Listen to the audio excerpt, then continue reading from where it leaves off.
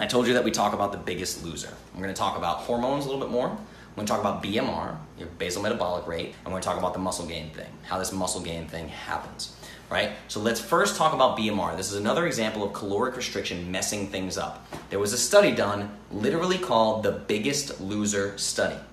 They studied the contestants from the popular TV show The Biggest Loser, and the conclusion was that literally zero of the contestants were able to keep the weight off except for two people and they both had different circumstances. Like one had gastric bypass surgery one did some kind of hormone replacement therapy or something like that. But they had to be medic they had to have medical treatments done to keep this weight off. Every other contestant gained all the weight back and then some. It's insane literally. Like none of the biggest loser contestants kept the weight off. And here's why. So we talk about bmr it's your basal metabolic rate now, I say to you guys all the time calories don't tell the whole story, right? It doesn't mean that calories don't matter at all, okay? There's still an energy balance in the body, but it doesn't tell the whole story because your hormones are, are, vastly more important than the, than the calories themselves. But here's what happens, right? So you do this caloric restriction, and this is the reason why I never let you guys do your own macros. Some people are like, can you tell me how to calculate macros? I'm like, no, I, I just don't trust people to do it. There's a reason why I get the fantastic results that I get, and other people who go to active.com and use their own BMR and try to do their own thing, they don't have results. I get results because I know what the hell I'm doing. Okay? So I want you to understand this BMR thing.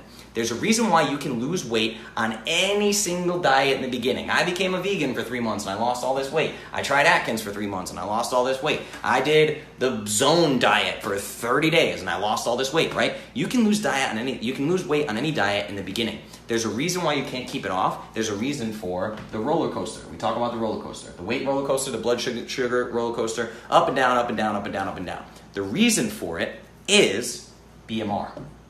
Let me explain this to you. When you do caloric restriction, let's go back to the 800 calories of protein and brown rice, chicken and brown rice, right? When you do caloric restriction, the body adapts. The body gets scared and determines that in its environment there is food scarcity. It literally freaks out and goes into starvation mode. It starts shutting down metabolic processes. Now, you will lose weight initially because of this, but what happens is as you lose weight, your BMR goes down. Okay? So the caloric restriction causes your BMR to drop. This means you're burning less calories just by being a human.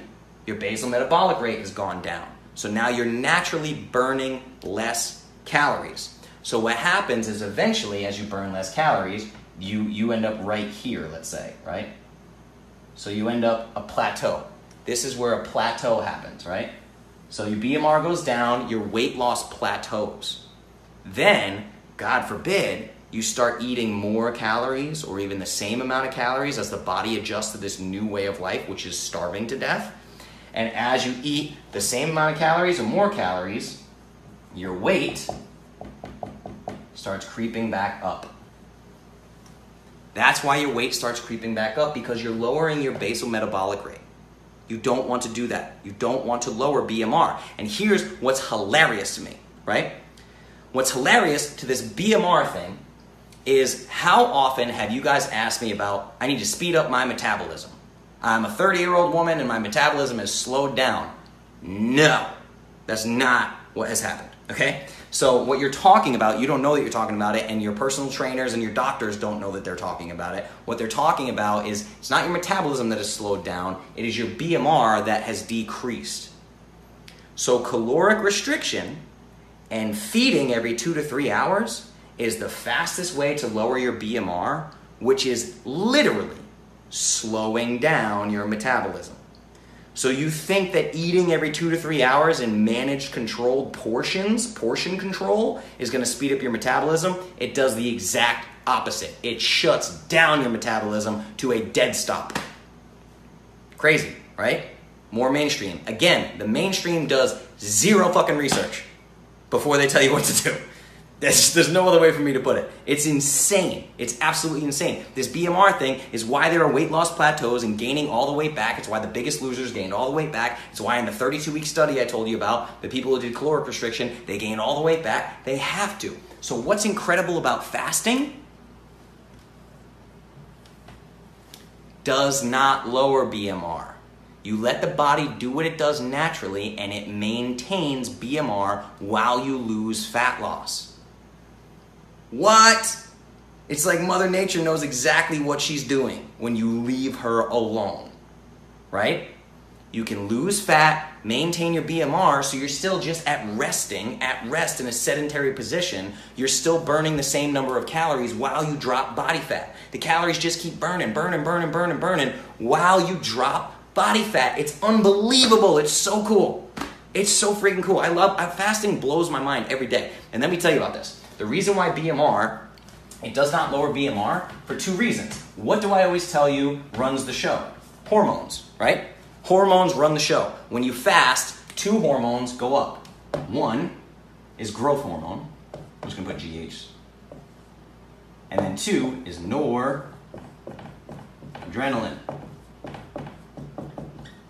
I know it's a big word. Noradrenaline. This is also known as norepinephrine. You guys have probably heard the term. Norepinephrine seems to be used. Uh, maybe I should have wrote norepinephrine, but it seems to be more popular. The two terms are interchangeable. Nerd talk. Nor, noradrenaline is norepinephrine. So what happens is growth hormone and nor, noradrenaline both go up while fasting. So growth hormone goes up, noradrenaline goes up. Now what noradrenaline does, that is the one that keeps your BMR up, right? So this is the, the one responsible for BMR. Now, if you ever heard somebody who did an extended fast, let's say a 48 hour, 24 hour, 36 hour, whatever, they go, oh my God, I had so much energy. My energy was through the roof. Some people complain that they can't sleep. They're having trouble sleeping. They're like, I had to get up and read a book. I had to clean my house. I had to do this. Like, I just have so much energy. I feel amazing. My mental cognition is through the roof. This is incredible. That's because of noradrenaline, aka norepinephrine. There's a massive release of noradrenaline to keep your energy level up so you can keep burning the same amount of calories even as your body weight decreases because you're losing fat. Not because you're losing muscle, because you're losing fat. So your BMR stays the same. Now, I also said the growth hormone goes up. What's growth hormone responsible for? Muscle repair and muscle growth. That's what it's responsible for. So now you have a bunch of growth hormone that gets pumped out in your system. So when you break your fast, your body preferentially feeds muscle cells. You have a bunch of growth hormone, so you literally build new muscle because you were fasting. So noradrenaline, norepinephrine is released, keeps your BMR the same while you lose body fat, and then growth hormone helps you build muscle, helps you build lean mass. Guys, this is the ultimate freaking hack for body composition. It is the ultimate hack for body composition. Unbelievable, right? This is what I mean by caloric restriction messes all this up. It messes with your hormones, messes with everything, messes with the, the gas tank, messes with your hormones, and why fasting is incredible. This is incredible stuff. I'm telling you guys. This growth hormone, noradrenaline, norepinephrine, that's the big secret. The big, crazy secret, right? It's unbelievable.